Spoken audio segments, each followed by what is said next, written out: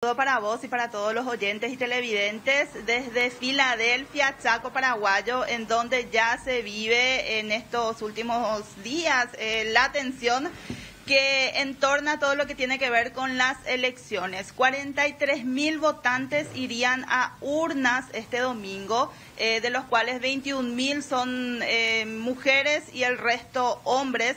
Las máquinas electorales también ya terminaron de ser repartidas en la jornada de ayer en los cuatro distritos en donde se llevará a cabo la votación y bueno, son un total de 115 mesas habilitadas y una expectativa total debido a que el votante chaqueño está bajo una polarización increíble y es difícil elegir un candidato favorito en esta ronda.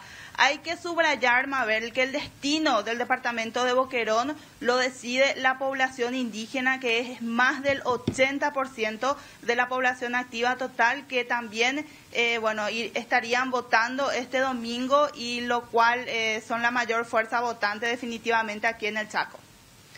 Ay, pregunto, los útiles electorales, todo lo que tenía que haber llegado y todo el resto, ¿sabrías decirnos si ha arribado ya hasta el último confín del área que te toca la cobertura, Nati.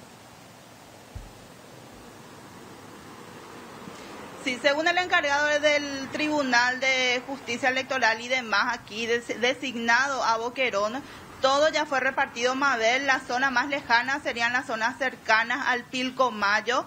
Eh, ahí también ya habrían llegado los útiles escolares y las máquinas. Eh, fueron 140 máquinas de votación repartidas aquí en el departamento junto con los útiles y demás.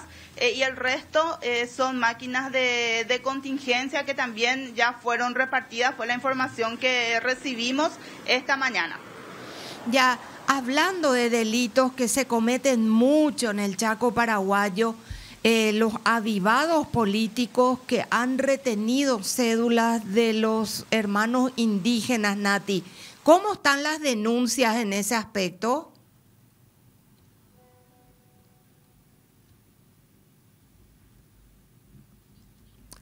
Bueno, em, estamos con problemas en la señal. era ah, Nati, no sé si escuchaste, alcanzaste a escuchar toda mi consulta. Sí, escucho, escucho. La pregunta es, ¿cómo... Mabel, como te decía, eh, denuncias hay suficientes, hay bastantes, lo que no hay son pruebas. Eh, recordemos que Boquerón en este momento está dividida por dos alianzas, la alianza por la lista 7 y la alianza por la lista 8, lo que dividió el voto del chaqueño y obviamente la ANR es una de las fuerzas pujantes también por la obtención de votos en este departamento que tiene muy poca, muy pocas intendencias bajo, bueno, bajo el poder colorado. Y entonces eh, hay bastantes denuncias, Mabel, de corralón, hay denuncias de retención de cédulas y demás. Eh, estuvimos ya varios días detrás de estas pruebas, pero eh, son bastante hábiles para moverse estas personas, porque si bien traen a los hermanos indígenas de zonas lejanas del Chaco, los van moviendo de, de lugar en lugar. Incluso hay una denuncia que habla que nativos del pueblo Manjuy están siendo retenidos en una estancia, digo en la estancia de un, de un expresidente en la zona de Mariscal Estigarribia, pero esto no pudimos corroborar hasta el momento. Bueno, Nat.